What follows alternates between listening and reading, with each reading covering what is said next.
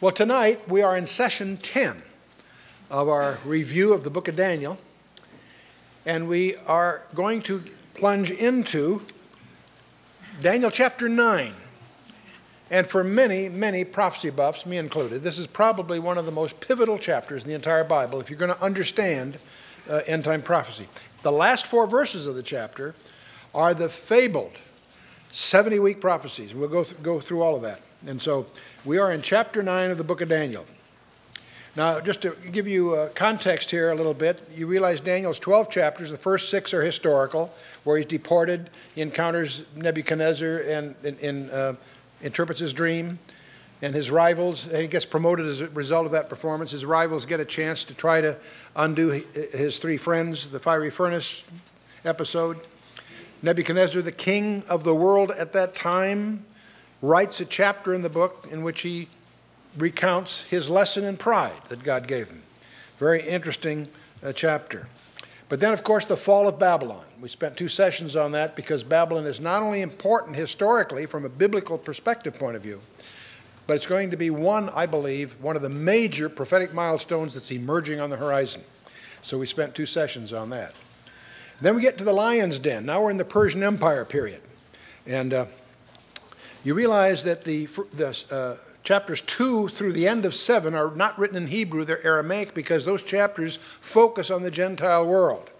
Very unusual for the Bible to do that. It usually sees everything, past and future, through the lens of Israel. But this is a section that is so dear to us because it's very unabashedly focusing on the Gentile world. Now, after the first six chapters, we have six chapters that are a collection of the visions. They're, in a sense, appended at the end, which means they're not in chronological order, the chapters all as, as a group. We have the times of the Gentiles, which we reviewed, that's going and then we have the ram and the goat, that is the career of Alexander the Great as he defeats the Persians. And then we're in the chapter 9, the 70 weeks, tonight.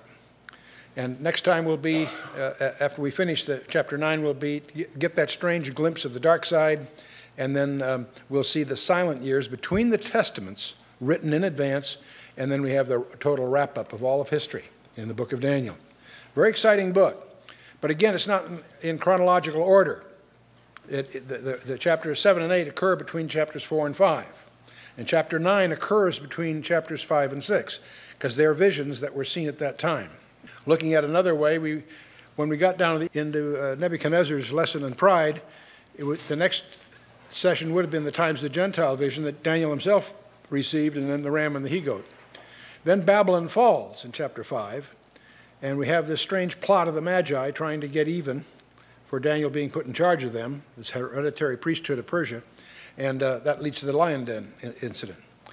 70 weeks would follow that. In other words, we're now in the Persian period as far as the chronology of it's concerned. And then 10, 11, and 12 follow, of course. So, again, the uh, chapters 2 through 7 are in Aramaic, but we're now in the Hebrew again. Chapter 8 to the end is in Hebrew, meaning the focus of this is once again on Daniel and his people, in contrast to the Gentile dominion. And uh, so, 70 weeks is where we are now. Before we get into chapter 9, I think it's important for us to get another perspective, and that's when Jesus gave a confidential briefing on his second coming to his disciples. In fact, not to all of them, to four special ones. It's recorded in Matthew 24 and 25, Mark 13, and Luke 21. It's important enough that it's recorded in three Gospels. And we'll focus on Matthew's for a couple of reasons, not the least of which, Matthew had a skill the others didn't. Anyone know what it is? Shorthand. He was a customs official. It was a job requirement that he take shorthand. And that was a skill prevalent in those days. And, uh, but in any case, we find that four disciples came to Jesus to ask about his return, the second coming Peter, James, John, and Peter's brother Andrew. These four are specifically identified by Mark as being present. This happened to occur on the Mount of Olives, so some people call it the Olivet Discourse, which is sort of irrelevant because it was a private briefing to these four guys. But it's so important that it is recounted in three Gospels Matthew 24 and 25 in the lengthy version, Mark 13 and Luke 21 are essentially parallel passages. And uh, what's interesting is that in this briefing, Jesus specifically points them to Daniel chapter 9 as the key to end time prophecy. And that's one, that's one of the many reasons that we're focusing on this. And we'll draw our primary perspective from Matthew 24 and 25. In Matthew 24, verse 3, it says, As he sat upon the Mount of Olives, the disciples came unto him privately, saying, Tell us three questions. When shall these things be? What shall be the sign of thy coming? And of the end of the world? Three questions in effect.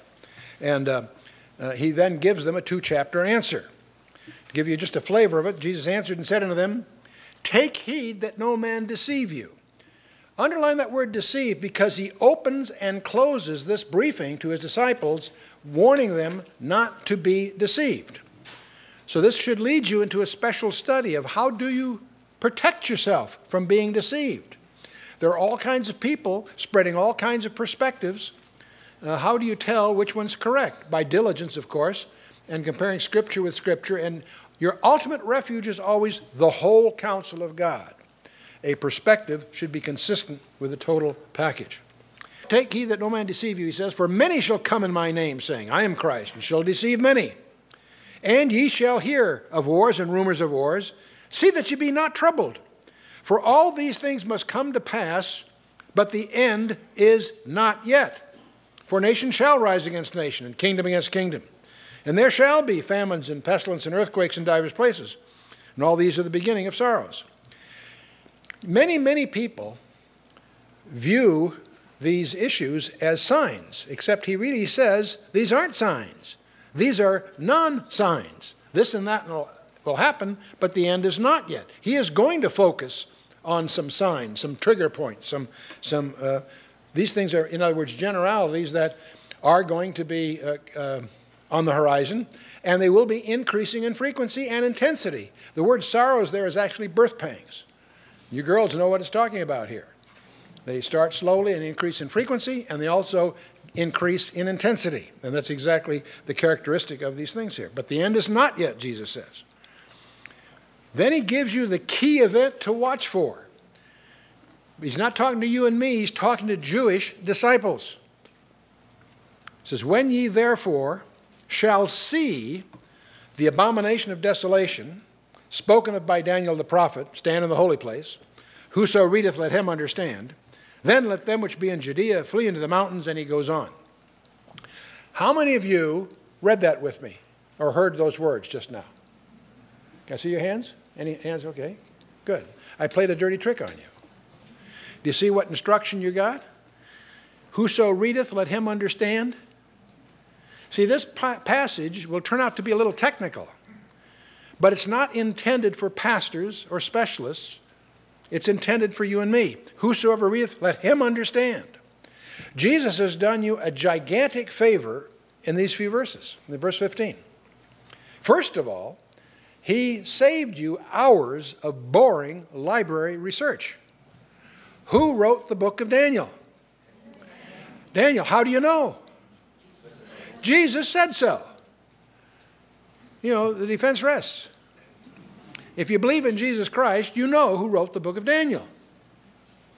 If you don't believe in Jesus Christ, you got bigger problems than the authorship of the book of Daniel, okay?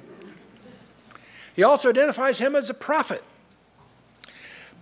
But he does something even more. He points you to the, the very passage that that's going to constitute the primary study of both tonight and the next session. And uh, we're going to discover later, we're going to take on what is this abomination of desolation. You see that phrase there? That's a technical phrase. We know it, a lot about it because it happened specifically once before in history, and we'll examine that. It's the erection of an idol. An idol is always considered an abomination in the Bible, but the ultimate uh, abomination, the abomination that makes desolate, it's the extreme version of that, is erecting an idol, a pagan idol, in the Holy of Holies. And that happened back in 167 BC, and, and the results of what happened are celebrated. After three years, it led to a, a revolt, and after three years, they rededicated the temple from that uh, outrage, and they celebrate that to this day in Hanukkah. And we'll talk more about that when we get there. But I want, while I'm here, I didn't want to miss the point. Do you notice what Jesus says? When ye therefore shall what? See. See. See, the abomination of desolation occurs in the Holy of Holies. Who gets to go in the Holy of Holies? Anyone here been in one? only the high, eh, under normal way, only the high priest, only once a year, and after great ceremonial preparation at Yom Kippur. So the Holy of Holies is inside the holy place, which is inside the temple. How can you, assuming you're somebody in Judea, see this going on? Going on? How do you see that? On CNN. And I'm not being facetious. In other words, this is a major political event that happens inside in, in, the Holy of Holies, inside the holy place, inside the temple. That's how we know there'll be a temple standing for this to happen. And how will you, if you're in Judea, that then the, when you shall see this, then let them which be in Judea. It doesn't limit the people seeing it, it could be around the world. But when this happens, then let them which be in Judea flee into the mountains. Not New York or LA or wherever. Those who are in Judea. Why? You need to understand what's going on here. But this is a major trigger point. It's a prophecy. It will mean nothing to you until you go to that passage that Jesus is pointing them to in Daniel and understand the, co the context of all of this, which is what we're about. But when that happens, Jesus says, let them which be in Judea flee the mountains. And then he says, let him which is on the housetop not come down to take anything out of his house. If you've been in Israel, you know the houses that are on hillsides, they typically are, it's very hilly. It's the roof that is sort of the patio. It's the place they spend the cool of the evening on. Not the backyard, they're not that large, but it's on the roof. The roof is sort of like a, a fellowship place. You go downstairs to get to the bedrooms and all the rest of it, see? He that, let him that is on the housetop, typical social place, not come down to take anything out of his house. In other words, he's saying, You split, and you split now. Neither let him which is in the field return back to take his clothes. And woe unto them that are with child, and to them that give suck in those days, because they're going to have a logistics problem, because they've got to flee with that, head, that burden, that handicap. Get this last phrase Pray that your flight be not in winter, neither on the Sabbath day. Who is he? is he talking to Gentiles here? Keep that in mind, because the whole study tonight is going to focus on Israel and Jews not Gentiles. And you'll see why. It's very important to understand. He is directing this to his disciples, which are Jewish, but it's obviously yet future. And yet, he's still, his focus here is most people don't fully recognize the Jewishness of Matthew 24. Because he goes on to say later, he says, For then shall be great tribulation, such as was not since the beginning of the world to this time, no, nor ever shall be. He is quoting from Daniel 12. We'll look at that shortly. But Jesus himself labels not seven years, the last half of that seven year period, as the Great Tribulation. He labels it right here, drawing from Daniel 12. And we'll get into that shortly. But then he makes another statement. He says, And except those days should be shortened, there should no flesh be saved. But for the elect's sake, those days shall be shortened. That's a technology statement again. We've already had an allusion here to worldwide television. We also have here an allusion to advanced weapons. If, I, if you read verse 22 when we, during the Civil War, it wouldn't mean much to you. You can't imagine the world wiping itself out with muskets and bayonets. But today, the nuclear cloud hangs over every geopolitical decision on the planet Earth. Except those days should be shortened, there should no flesh be saved. But for the elect's sake, those days shall be shortened. That's a technology statement, and left. Well, that's just that's the context. I want to start in the New Testament, springboard from there, because we're going to follow his advice here and go into Daniel chapter 9, which is the allusion that he was making. And uh, now, a couple of things that another fact that most of you are familiar with, but I want to emphasize it because it's going to be of profound significance to you when you get to verse 25 of Daniel 9. The original Hebrew text is typically, typically called the Vorlage. It was the Old Testament. We're talking about Old Testament here. The Tanakh, as the Jews would call it. That was really assembled, we understand, in the days of Ezra and Nehemiah. Uh, you know, uh, four or five centuries, several centuries before the Gospel period. When you get to the third century before Christ, if you were a Jew, you probably did not know much Hebrew. You spoke Greek. Greek was the enforced language under Alexander the Great and following. Latin became the official language of the, of the Roman Empire, but even the Roman Empire, took a while to, it was, the, it was the official language. Everybody spoke Greek. Greek was the language. If you were Jewish, that was frustrating. You used Hebrew the way a Catholic uses Latin. You might know some Hebrew for ceremonial reasons, certain prayers and things, but it wasn't necessarily a comfortable language to you. And for that reason, the Jewish community aspired to having their scriptures translated into Greek, the common and, and very precise language of the day. So under, under Ptolemy Philadelphus II, starting about 285 BC and finishing at 270 BC, he commissioned 70 top scholars. Some say 72. Uh, some say there were uh, uh, six from each of the 12 tribes. There's all kinds of legends about this, but the, the, the word 70, the word Septuagint, is just a fancy word for 70. Their work product, that 15 year work product, is known as the Septuagint translation.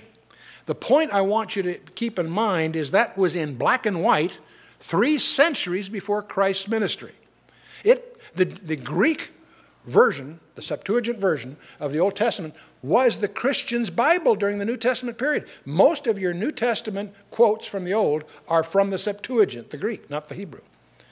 So I just want to, the point, what I'm, the reason I want to emphasize this, setting aside who wrote Daniel and under what circumstances, for our purposes tonight, it doesn't matter. It was in black and white 300 years before Christ makes references here.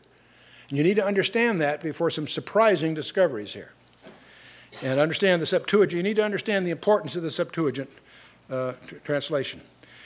The Masoretic text, the Hebrew text that we have in the Old Testament, was actually derived from, well, it, the, from the Council of Yamnia in uh, 90 AD, but most of it, as we have it today, is really about 9th century. So it came much later than the Septuagint, and that's when you have a Hebrew quote of the Old Testament, it's usually from the Masoretic text.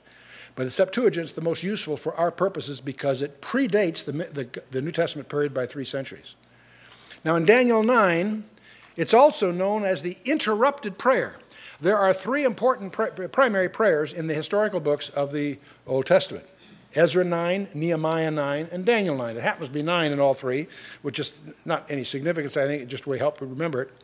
But we're going to look at the first 19 verses of this chapter are Daniel's prayer. And then Gabriel interrupts his prayer. And, uh, when, and he gives Daniel the most astonishing four verses in the entire Bible. That's why we're here. The so called 70 week prophecy, verses 24 to the end 24, 25, 26, 27. But let's start with a prayer. Most people jump right into the four verses. We're going to take, we're going to, this is too important to, to be cut corners. Let's jump in and get the context here. Daniel chapter 9, verse 1. In the first year of Darius, the son of Ahasuerus, the seed of the Medes, which was made king over the realm of the Chaldeans, and he goes on. Now, these are titles. Some people believe that Darius was the uncle of Cyrus, but that's conjecture by some of the scholars. He was made, it says, uh, um, he was made king, implies a passive recipient in some kind, so that leads to other scholastic speculations. But uh, the important part of this is setting aside the, the successions in the Persian Empire, it's verse 2. In the first year of his reign, I, Daniel, understood by books the number of the years where, whereof the word of the Lord came to Jeremiah the prophet, that he would accomplish 70 years in the desolations of Jerusalem. So, Daniel, this whole thing starts because Daniel was reading his Bible. And he was reading in the, specifically in the book of Jeremiah. Now, the first thing that will leap out at you if you're a student of the Bible is that Daniel took Jeremiah literally. When Jeremiah talks about 70 years captivity, it wasn't allegorical, it wasn't about, approximate. Daniel assumes it's precise. In fact, he knows it's about over, and we'll he does something very interesting. You know, if Somebody told you, if you read in the Bible and you somehow discovered that the Lord is coming back to the earth three weeks from now, what would you do? Put your feet on your desk and say, good, sooner the better. That's not what Daniel would do. What would Daniel do? Pray. Right on, you got it. He's an example to us all. But he knew 70 years was prophesied in Jeremiah, and he knew apparently about 67 had gone by. So he knew the 70 were about up, so he's getting excited here. But I want you to notice carefully what he did. And let's, read, let's first of all read Jeremiah. It occurs in two places. Jeremiah 25, verse 11 and 12 reads as follows And this whole land shall be a desolation and an astonishment, and these nations shall serve the king of Babylon 70 years. And it shall come to pass when 70 years are accomplished that I will punish the king of Babylon and that nation, saith the Lord, for their iniquity and the land of the Chaldeans, and I will make it perpetual desolations. So that's a commitment that, he, that God gives in, Daniel, in uh, Jeremiah 25. In Jeremiah, Jeremiah 29, this is also a reference here. For thus saith the Lord, that after 70 years be accomplished at Babylon, I will visit you and perform my good word toward you in causing you to return to this place. This was written in Jerusalem. So, there, twice in the book of Jeremiah, we have this promise that Daniel could cling to that the captivity was about over. So, what does Daniel do? Let's take a lesson here. He says, I set my face unto the Lord God to seek by prayer and supplications with fasting and sackcloth and ashes. So, there's a couple of questions here. Um, are we supposed to pray for the second coming of Christ? It's inevitable, isn't it? We know the second, the second coming is going to happen sometime, right? But what does the Lord put in the Lord's Prayer, as we call it? Thy kingdom come. You see, prayer, it's not like as if God needed our prayer to do it. It's God's way of enlisting us in what He is doing. And that's part of what prayer is all about. Now, you can, I'll leave it to you. We can talk about fasting. Is it, is it appropriate for New Testament Christians to fast? Well, that's an Old Testament allusion. Really? Look at Matthew 9. Acts 13, 14, 1 Corinthians 7, 2 Corinthians 6, and 2 Corinthians 11. And you'll find allusions uh, to New Testament Christians fasting. So, and don't do that casually, you should do that knowledgeably, having done some homework in that area, but it is an appropriate procedure for believers today. Anyway, Daniel set my face, he said, I set my face on the Lord God to seek by prayer and supplications with fasting and sackcloth and ashes. He's serious about this. And I prayed unto the Lord my God, and I made my confession and said, O Lord, the great and dreadful God, keeping the covenant and mercy to them that love him and to them that keep his commandments. Now notice he says, We have sinned. That's a strange thing for Daniel to say. He's one of two people in the Old Testament about which no evil is spoken of, beside Christ, of course. Joseph and Daniel are two characters that have no evil recorded of them. Doesn't mean they're sinless, don't mean understand me. But he's, what's interesting here, Daniel is praying earnestly, not on his personal behalf alone, for his people. He says, We have sinned and have committed iniquity and have done wickedly and have rebelled. Even by departing from thy precepts and from thy judgments, neither have we hearkened unto thy servants the prophets, which spake in thy name to our kings and our princes and our fathers, and to all the people of the land. And he continues, O Lord, righteousness belongeth unto thee, but unto us confusion of faces, as at this day. To the men of Judah and to the inhabitants of Jerusalem and to all Israel that are near and that are far off, through all the countries whither thou hast driven them, because of their trespass that they have trespassed against thee. O Lord, to us belongeth confusion of face, to our kings, to our princes. Uh, to our fathers because we have sinned against thee. To the Lord our God belong mercies and forgivenesses, though we have rebelled against him. Neither have we obeyed the voice of the Lord our God to walk in his laws, which he set before us by his servants the prophets.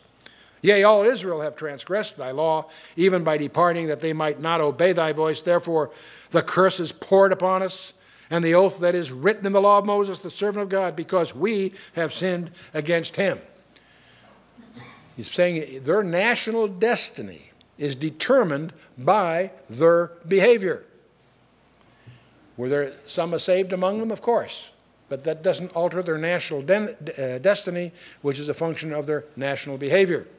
And from here in your notes, you can put, you can annotate, say, Second Chronicles 7:14, which I believe we can apply to America's predicament, although it's a different one altogether. That's verse 12. Daniel, and he hath confirmed his words which he spake against us and he against our judges that judged us, by bringing upon us a great evil. For under the whole heaven hath not been done as hath been done upon Jerusalem. As it is written in the law of Moses, all this evil has come upon us, yet made we not our prayer before the Lord our God that we might turn from our iniquities and understand thy truth.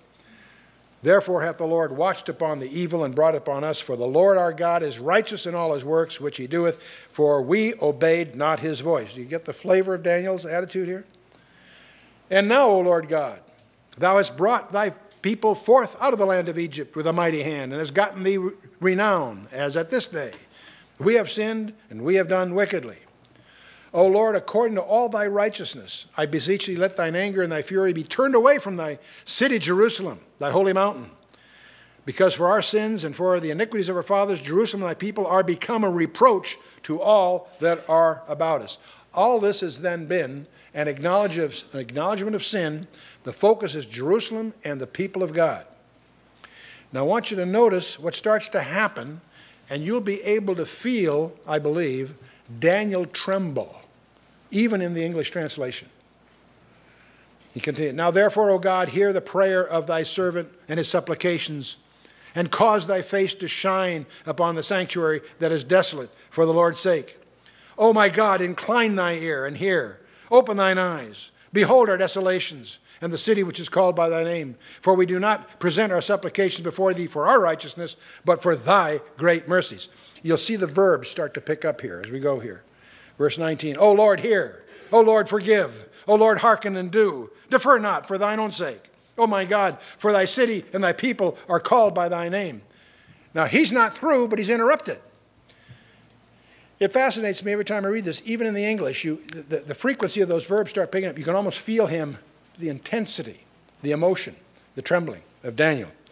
And then we get to the interruption, because we're going to have now a few verses by Gabriel. And then, of course, the incredible gift that Gabriel gives Daniel. Verse 20, Daniel says, And while I was speaking and praying and confessing my sin and the sin of my people Israel, and presenting my supplications, you notice he's shifted gears here from the prayer, now he's narrating what happened, see? While I was yet speaking and praying, and confessing my sin and the sin of my people Israel, and presenting my supplication before the Lord my God for the holy mountain of God, yea, while I was speaking in prayer, even the man Gabriel, the word there is ish, it can be man or servant. The man Gabriel, whom I had seen in the vision at the beginning, being caused to fly swiftly, touched me about the time of the evening oblation. Let me get that last phrase. You know, it's interesting to see Daniel describe this. Now, obviously, Gabriel is one of the archangels. We only know of three that are named Gabriel, Michael, and a guy by the name of Lucifer got in a big bunch of trouble because of his pride. Michael is always a warrior, captain of the Lord's host, fighting on behalf of God's people. Gabriel, you'll discover, every time he appears, and he appeared once before in chapter 8 or 7, 8, I guess it was. And uh, uh, he's always, throughout the Bible, Old and New Testament, he's always announcing to somebody something having to do with the Messiah. He's apparently the advanced man or the press agent or communications specialist, if whatever you want to, we would call him in our jargon, for the Messiah. But I want you to know something else that's subtle. When did Gabriel touch him on the shoulder? At the time of the evening oblation. Was there any evening oblation? He's in Persia as a the, the, the temple is, a, is about 400 miles to the west and in rubble. There is no temple. There is no evening oblation. That's an anachronism. That's out of date by virtually 70 years, right? Not in Daniel's mind. Because Gabriel touched him about the time of the evening oblation. Do you see Daniel's mentality? As far as he's concerned, that's God's place, and it's the time that they're supposed to be having it if they had a temple. So, as far as he's concerned, see, he's using a phrase here that I think is revealing of his heart. And he, that is Gabriel, informed me and talked with me and said, Oh, Daniel, I am now come forth to give thee skill and understanding. Imagine Daniel was thrilled. That's exciting. That's what he's seeking. At the beginning of thy supplications, the commandment came forth, and I am come to show thee, for thou art greatly beloved. Therefore, understand the matter and consider the vision. So we're going to get in the vision, but I want to, I want to, as we go here, I want to sensitize you to stylistic issues of the Bible as a package.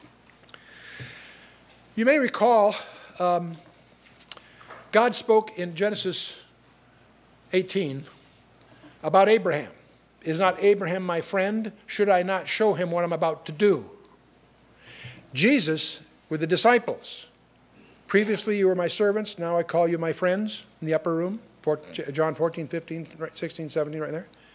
What was the, the merit badge of being a friend worth? God would reveal what he's going to do. In other words, the concept, because Abraham's my friend, he let him in what was coming, what was going to happen in Genesis 19 and following. To the disciples, Jesus, because you are now my friends, he tells them about a second coming and so forth, right? Take that, move the decimal point one over. Abraham is known as the friend of God in the Old Testament. Who is the beloved in the Old Testament? Daniel, the Old Testament, Daniel. Who is the beloved in the New Testament? Well, yes, but who's the beloved? John, right on. How interesting, Daniel, because he's the beloved one, is the one that's treated to the apocalyptic insights. John in the New Testament is the beloved one, and he is granted the privilege of the apocalyptic insight the book of Revelation. Now, what I'm, what I'm trying to get across, these concepts, there's a consistency between the Old and the New Testament in, of relationship. If you're my friend, I'll let you into what's coming. If you're really beloved, boy, you really got the inside track. You follow what I'm saying? Kind of interesting. I think, it's, I think, that's, I think that's real. But anyway, so we're now at verse 23. The next four verses are the real focus of our study and we're going to take two of the four in this session. So we're going to now look at the 70 weeks. Those are verses 24 through 27 of Daniel 9. The, the Daniel verse 24 will give you the scope of the whole package. It's an introduction. We'll take it in a minute. It will be followed by verse 25, which is going to deal with 69 of the 70 weeks. And that passage, verse 25, I, am going to submit to you when you get into it, will be the most startling passage you'll find in the Bible from a prophetic point of view. You're going to discover verse 27 deals with the missing, the last one, the 70th week. One of the most important insights for you to satisfy yourself about is that verse 26, which occurs between 25 and 27, deals with events that are after the 69th week and before the 70th week. You and I would not naturally presume that all 70 weeks are contiguous, except for the fact here's an insertion that tells us there's something after the 69th before the 70th. So there's an interval. We know that interval had to be, well, you'll discover it had to be at least 38 years. It's actually gone 2,000. We'll talk about that. But that interval is important for you to understand the structure of this passage.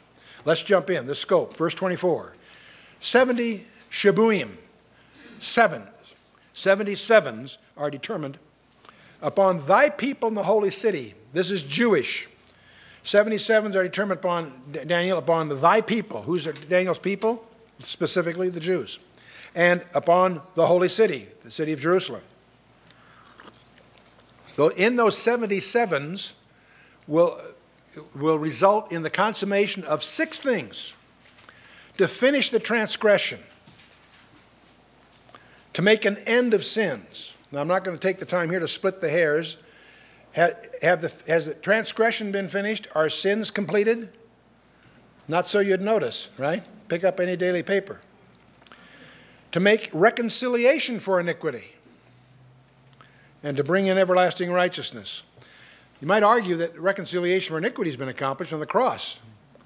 But what about the rest of this? And finish transgression, make an end of sins, bring in everlasting righteousness? I don't think so.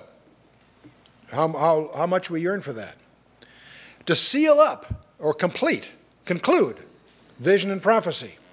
And one last thing, to anoint the most holy place. Your Bible may say the most holy, but it is a, a Kadesh Kadeshim, it's the Holy of Holies. to anoint the Holy of Holies. Apparently, it's going to ultimately need some very special anointing. Now, this the main point to draw from this is the scope of this prophecy is incredibly conclusive on the one hand and yet incomplete in terms of fulfillment on the other. Because when this happens, sin is over, there's an end of sins, etc., etc. You with me? On the other hand, it isn't complete yet. So the 70th week has not been finished yet, whatever else is true. You with me so far? Okay. Now, if I, how long is a week? See, you and I are only familiar with weeks of days. And we do that because of the, of the ordination of the, of the seventh, the week the seventh day and so forth in, in uh, Genesis 2. And even more importantly, people say, what about the Sabbath? The Sabbath was written by the finger of God in stone in Exodus 20, verse 11. So the Sabbath is the Sabbath. There's also a week of weeks. That may surprise you. There's a feast of weeks in Leviticus 23, verse 15 and 16. There's also a week of months from Nisan to Tishri, or from Tishri to Nisan. Either way, it's a, it's a, it's a, it's a week of months, if you will, and uh, uh, uh, ordained in uh, Exodus 12, verse 2, and Leviticus 23, verse 24. And of course, the dominant factor is years. There were sabbatical years for the land, and this is emphasized in Leviticus 25, virtually the whole chapter, Leviticus 26, Deuteronomy 15. In fact, when you look at 2 Chronicles 36, you'll discover the reason they were in captivity for 70 years is because God said, You owe me 70. For 490 years, they failed to keep Leviticus 25. They didn't honor the idea of a year off for the land. Six years you plow it, and the seventh you let it rest. And they didn't do that for 490 years. God says, You owe me 70. And that is literally in 2 Chronicles 36 at the end of that chapter. God explains why the Babylonian captivity was 70 years. So, so if I told you that I've got to leave this ministry, but I won't be back for a decade, when would you expect me? 10 years from now. But I didn't say years, did I? I said decades. So you take for granted my figure of speech there is in years, not days. Well, it's just likewise in what we have here, the Shabuim is a week, yes, but of years, not days. To you and I, that sounds strange, but not if you're Jewish, because they have, they're used to, first of all, especially the, the Sabbath for the land and so forth. So let's take a look at verse 25. Gabriel's talking to Daniel. He says, Know therefore and understand. So this is not a cryptic hidden thing. This is something Daniel is expected to understand. Know therefore and understand that from the going forth of the commandment to restore and to build Jerusalem unto the Mashiach Nagid, the Messiah the King, Messiah the ruler, shall be seven weeks and threescore and two weeks. The street shall be built again, and the wall, even in troubled times. I want you to notice the 69 weeks are 7 plus 62. Scholars aren't quite sure why it was presented that way. One of the speculations is that it took seven weeks of years to get Jerusalem rebuilt. That's, that's a speculation. We're not sure exactly why. There's different scholars have different conjectures. But the main point is this is a mathematical prophecy. From one event to another is a specific period of time. Gabriel saying to Daniel, Know therefore and understand that from the going forth of the commandment to restore and to build Jerusalem. Picture the context. Daniel is now an old man. He was deported as a teenager in the Babylonian captivity. He rose to power in the Babylonian uh, uh, situation. Cyrus conquers Babylon. He rises to power again in the Persian kingdom, virtually a prime minister kind of guy. He knows all this time. He's been absent from Babylon virtually all his life. He's, probably, he's in his 70s or 80s. He was keyboard as a teenager. Jerusalem is in rubble. It was destroyed 70 years ago. But he knows from prophecy, reading Jeremiah, that it's destined to be rebuilt, obviously. That's the hope of the Jew. Gabriel tells Daniel, know there understand that from the going forth of the commandment to restore and to build Jerusalem. Now, so that's a milestone. We'll talk about that unto the Messiah the King. Wow. Shall be 69 weeks of years, in effect. 7 plus 62. 7 plus 62, 69 weeks of years. Then the Holy Spirit adds a footnote here. The street shall be built again, and the wall in troubled times. That's there for the Holy Spirit always anticipates every conceivable misunderstanding that might arise. Do you know that you cannot encounter a false cult or a false belief on the, any of the landscape that isn't anticipated specifically in the scripture? It's really amazing. But anyway, he's got this remark here. We'll come to that. So, what this is saying, in effect, is it's a trigger and a target. The terminus ad quo, a scholar would say, that the, the, the beginning point, is a commandment to restore Jerusalem, right? The terminus ad quem, the, the, the trigger, the, fi the final conclusion. The trigger is the front end, the back end is the Messiah the King.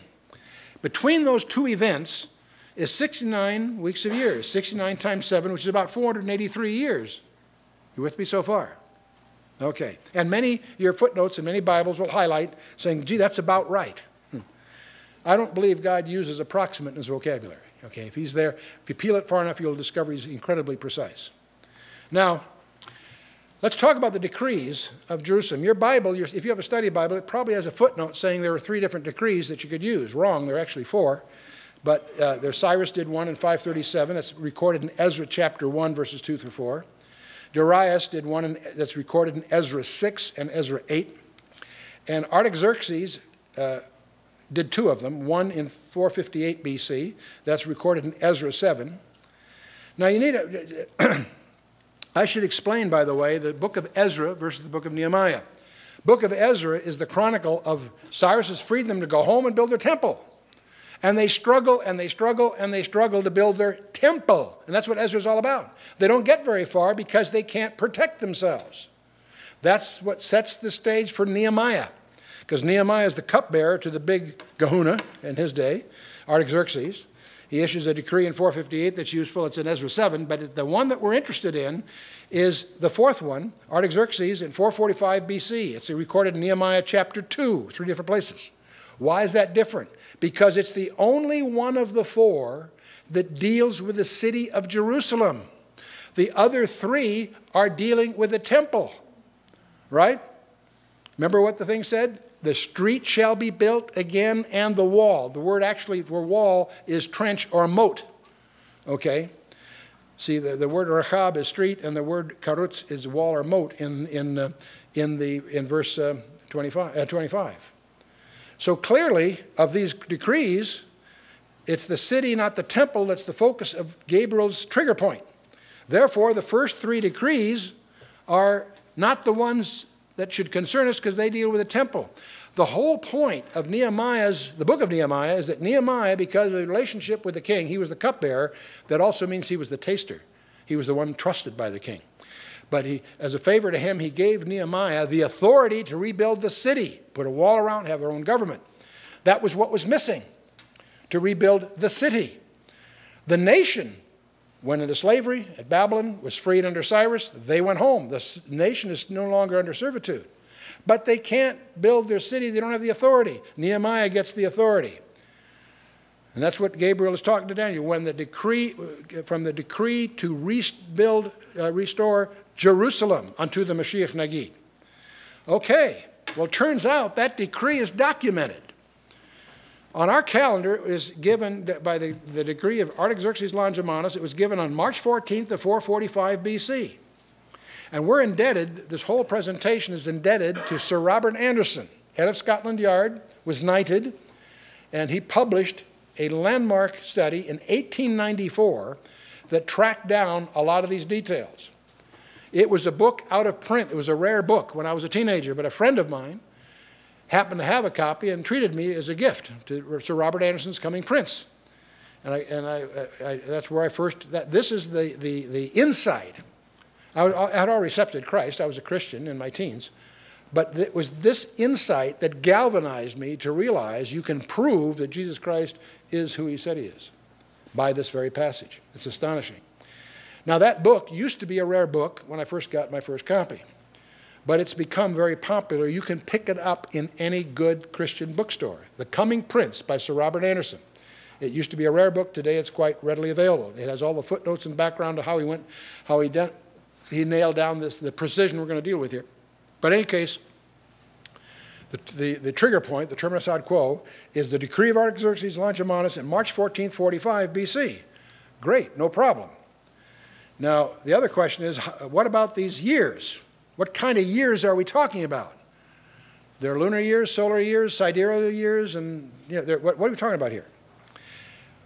The Bible always deals in 360 day years. And Sir Robert Anderson noted that, and that started led to the unraveling of this. Why are we talking 360 day years?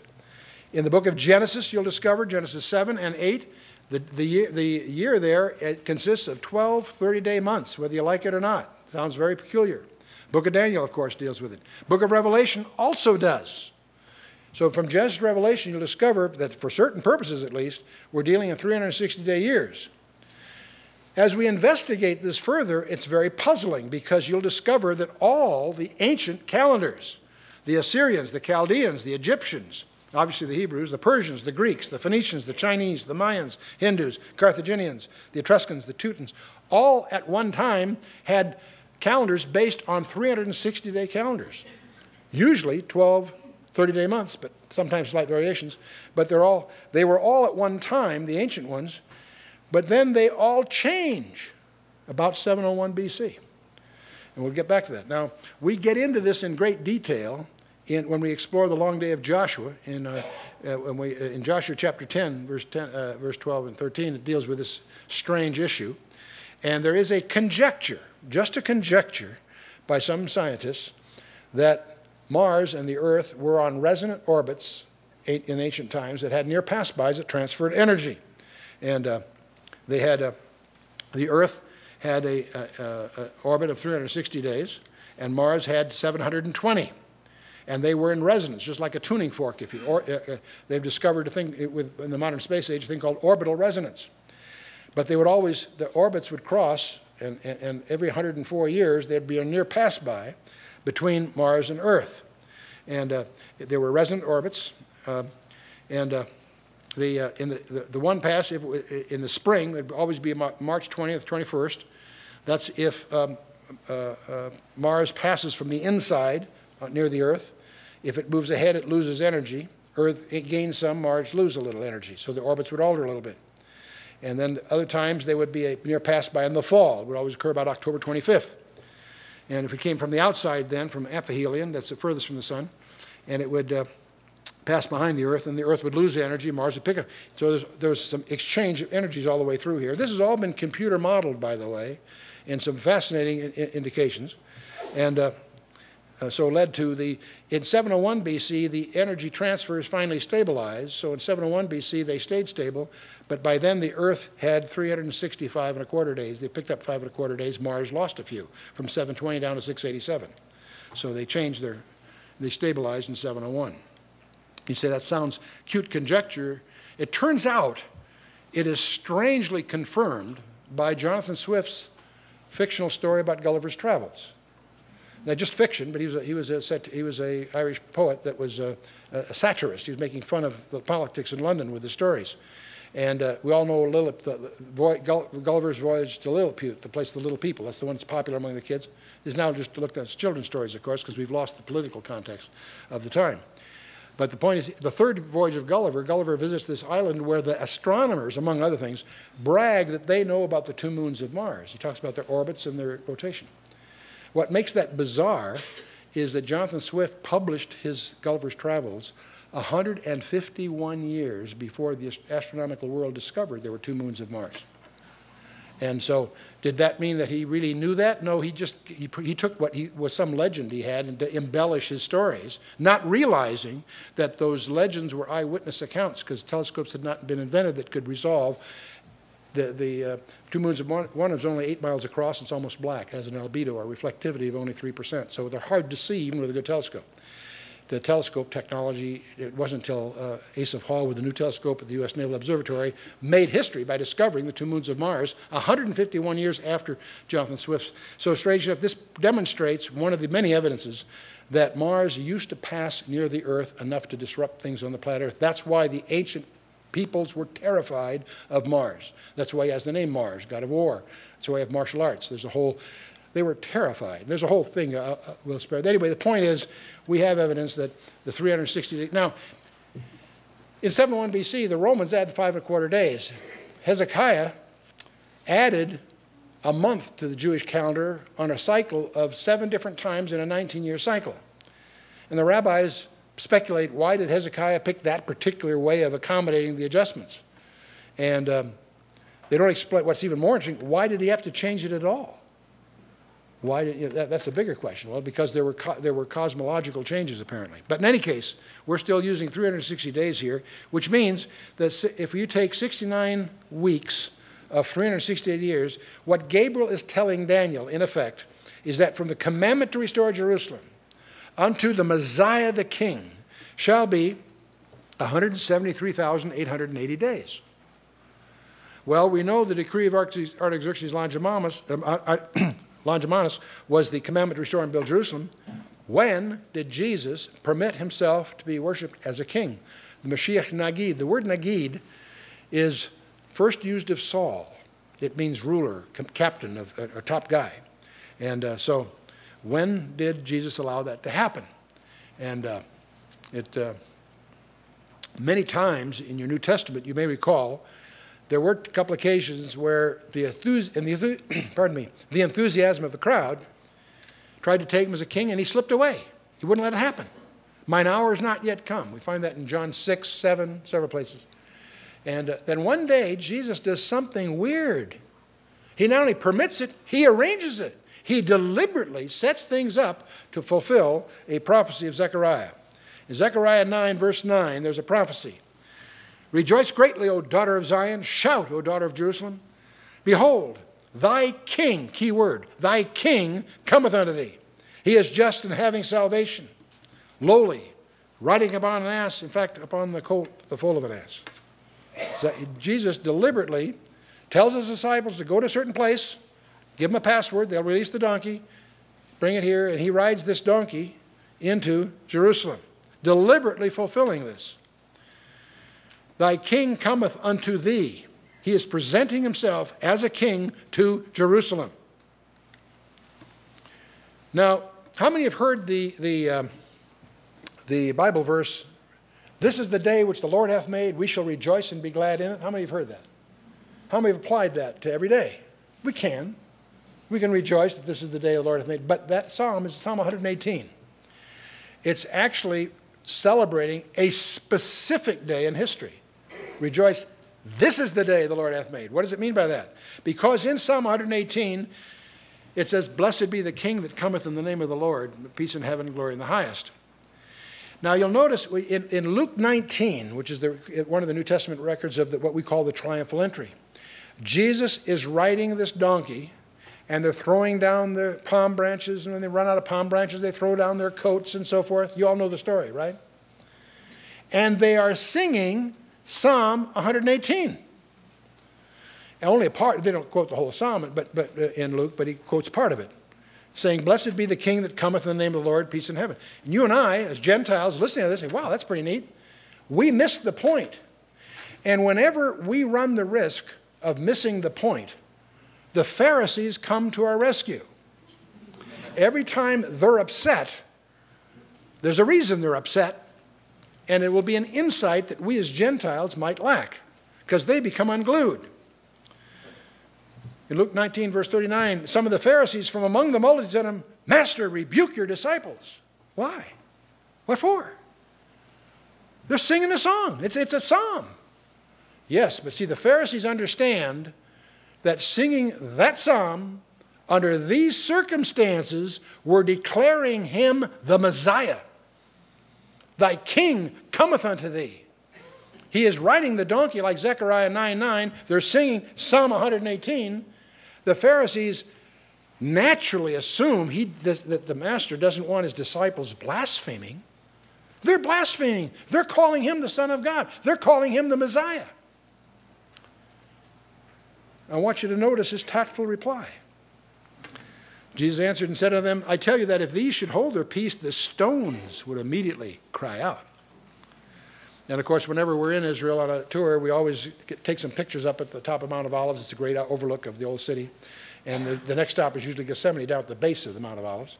And what we do, and the buses will meet us down there, but we usually walk down the road, the very road that he rode here. Because you're coming top Mount of Olives, you go down this road right down to Gethsemane. And I usually explain while everybody's taking their pictures is when you're going down this road, there's the best bargain in Israel.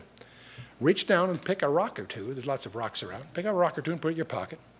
It's free. It's the best bargain in Israel. It's free. And uh, you know how to take a, a, a, small fortune out of Israel? Bring a large fortune in.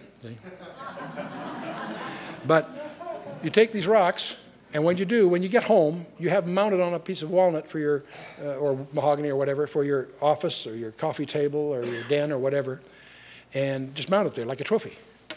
When somebody says, gee, what's that? Glad you asked. You can tell them all about Daniel 9 and Luke 19, and they brought it up. See, it's a great, great thing. And so, so these are one of you just tell them that's one of the stones that didn't cry out. See, and so. So let's talk a little bit about the chronology of Christ's ministry. We know that Christ's ministry began in the fall of 28 AD. How do we know that? Tiberius was appointed in 14 AD. Augustus died in August 19th of 14 AD. And we know that his ministry began within the 15th year of Tiberius, which means that it's got 14 plus 14. The 15th year hasn't gone by, it's in the 15th year. It's like the trick I just played on our friend here when he's on his 50th birthday, saying he's entered our 10th decade. Uh, excuse me, he's entered our sixth decade. Well, I'm cheating. See, the 15th year of Tiberius means it's year 14. He's in the 15th year. Do you follow me? So it's 14 plus 14 or 28 AD that we're talking about. That means the fourth Passover in Jesus' ministry would have been on April 6th of 32 AD. And this is all detailed for you if you want to do the research in Sir Robert Anderson's book, published in 1894. Now, you will find other people that try to support a different chronology, and you won't wonder what's the problem here. And part of the problem is they're trying to defend a Friday crucifixion because April 6, 32 AD, the, the Passover was not on a Friday. I believe it's on a Wednesday. And so people who are trying to defend a Friday crucifixion assume it couldn't be 32 AD. Follow me? So that's part of the, that's what lingers by. I used to be troubled because as I studied and run into all these other views that had all their arguments and stuff, and they never quite computed. And I began to realize what, what they're trying to do is defend, they, they start from the presumption that the crucifixion occurred on a Friday, which you can disprove by three different pro, uh, passages in the New Testament. But let's uh, just stay with it. So we have now something kind of interesting. The commandment to restore and build Jerusalem is the decree of Artaxerxes Longimanus on March 14th of 445 BC. The triumphal, triumphal entry occurred on April 6th of 32 AD. Now recognize something else here that uh, to put you on the Septuagint translation that we're drawing this from was translated into Greek, you know, less than halfway through this period, okay? In other words, 300 years earlier, this prophecy, the things we're reading, were translated into Greek. So no one can mucky around with this after the fact. You with me? Let's take a look at this. March 445 BC to 32 AD. Turns out, if you multiply that out in, 300, uh, in, uh, in our calendar, it's 173,740 days. From March 14th to April 6th is another 24 days, and when you go through the leap year calculations, it's another 116 days. And, and all that's detailed for you in Sir Robert Anderson's book if you're interested in you know, unraveling that. But the net of it is, it turns out that the number of days between the decree of Artaxerxes Longimanus on March 14th of 445 BC and the triumphal entry on April 6th of 32 AD is 173,880 days. What was Gabriel's margin of error? Zero. Gabriel told Daniel the precise day that the Messiah would present himself as a king to Jerusalem. And he did. How did Jesus arrange that? to have that in the book of Daniel, etc. We're not through. As you look at Luke 19, as he came near, he started at Bethany, rode the donkey up over the Mount of Olives, coming down the Kidron Valley, heading into the old city. When he was come near, he beheld the city, and what did he do? He wept over it. This is a triumphal entry. This is the big day. But he wept over it, saying, If thou hadst known, even thou, get this, at least in this thy day, the things which belong to thy peace. But now they are hidden from your eyes. He said, You had your chance. He expected them to understand that he was the Messiah on schedule, as Gabriel had predicted. If thou, at least in this thy day, if you had known the things which belong to thy peace. But now they are hid from their eyes. He, he, he announces judicial blindness here. Israel is blinded. Forever, no. Paul tells us in Romans 11 25, Israel is blinded until the fullness of the Gentiles come in, the completion of the church. This thy day, but now they are hidden from thine eyes. Sobering passage. Gets worse. Next verse he says, For the day shall come upon thee that thine enemies shall cast a trench about thee and compass thee round and keep thee in on every side and shall lay thee even with the ground, and thy children within thee, and they shall not leave in thee one stone upon another. And indeed, 38 years from the time he said that, Titus Vespasian and the 5th, 10th, 12th, and 15th legions laid siege for about nine months and slaughtered over a million inhabitants, men, women, and children. And another half million died from the famines and, and pestilence following. Big event in Jewish history, the fall of Jerusalem in 70 AD. Question, key question, why did Jerusalem fall in 70 AD? Lots of good answers to that. Let's look at what Jesus said was the answer. Let's read the rest of verse 44. Because thou knewest not the time of thy visitation. You know, that's chilling to me. Because as I read this and try to digest what's going on here, I realize Jesus held them accountable to know prophecy. They may not have known the exact day, but they should have recognized the situation. And because they didn't, Jerusalem was destroyed. What does that do for us? How much more do we know today than they did then about Scripture and fulfillment and so forth? There's a responsibility that goes along with all this. Thou knewest not the time of thy visitation. Those are heavy words. Now, in the next session, we're going to talk about the next two verses the interval between the 69th and the 70th. And we'll also, of course, talk about the 70th week, which is the key to end time prophecy. But before we even go down the prophecy road, what we've talked about so far, verse 25, as you understand it, as you come to terms with it, is the most astonishing demonstration of the deity of Jesus Christ. His fulfillment of that, those details are absolutely beyond rationalizing by the skeptics. The convolutions and the allegorizations and the squirming and wiggling they have to try to do to get out from under the evidence, the hard, specific evidence of that verse, where it is, and the fulfillment of history, where it happened, is breathtaking.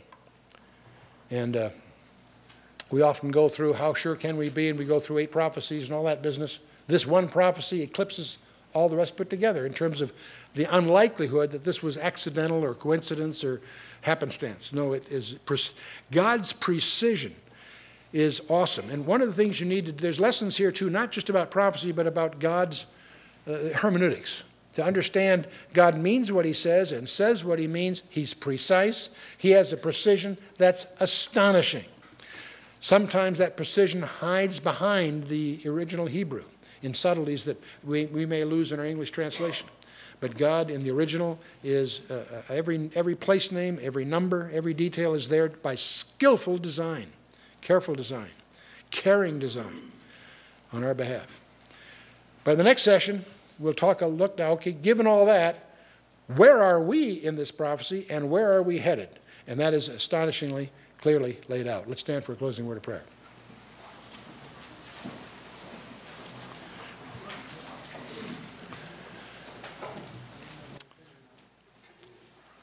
Father, we just thank you for who you are. And we stand in awe, not only as we survey the heavens or as we take a glimpse in a microscope, but as we encounter your word. We're astonished at how far you've gone to be precise and to be beyond, beyond questioning. We just stagger. And yet, Father, we ask you through your Holy Spirit to guide us, lead us, illuminate your word that we might glean from it that which you would have us take into our own lives.